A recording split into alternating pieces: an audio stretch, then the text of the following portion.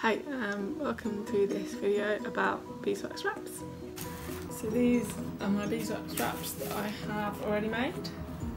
They're so good. So basically they're in place of cling film which isn't recyclable. Um, so you got this. You can either wait till it warms up a bit in your hands and it sticks on, or you can tie it with string, or you can just leave it in the fridge like that. So they're really, really good. I absolutely love them. They're so easy to make. Although you can buy them, and there are some great companies making and selling the beeswax wraps. So what I found you need is a variety of things. Um, some old fabric, um, cotton, it's really important, um, in a material that either you like or something that's old around the house. so You don't need to buy anything new for this. Other thing you can do is old t-shirts. This is an old pyjama top I'm going to upcycle into some beeswax wraps.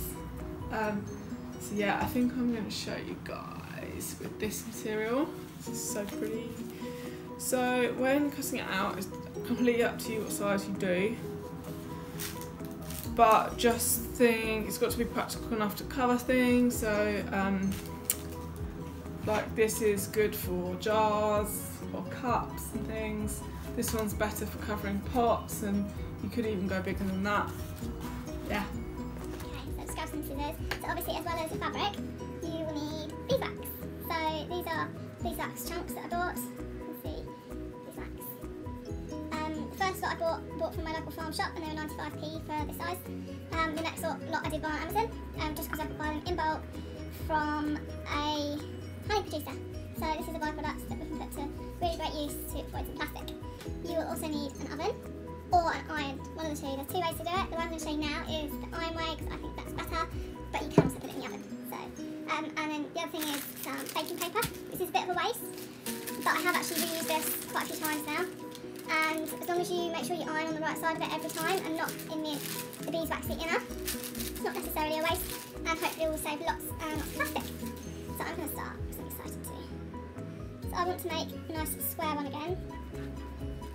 Find these beeswax wraps already so handy, not necessarily just for food, um, but also I've wrapped all our soaps travelling in them.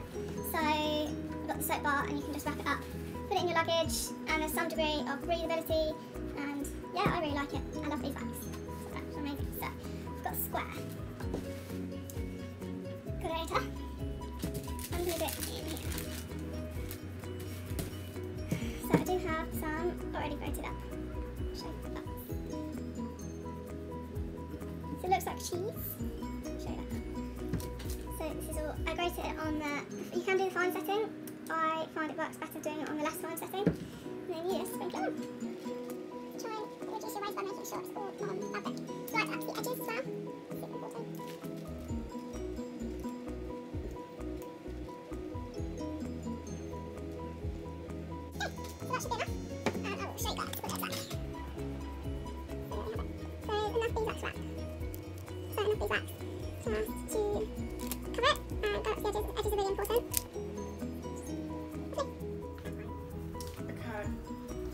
I've got nine. This is the method that I like the most rather than the oven. I think it has a better coverage. So I'm going to turn the settings right down, steam off. So it's nice and low settings. Here we have it.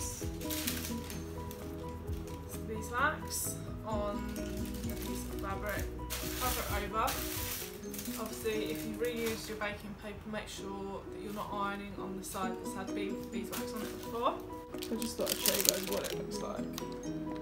Swishing it like. So it will all melt onto the fabric. Okay, so you don't need your iron super hot, um, just warm enough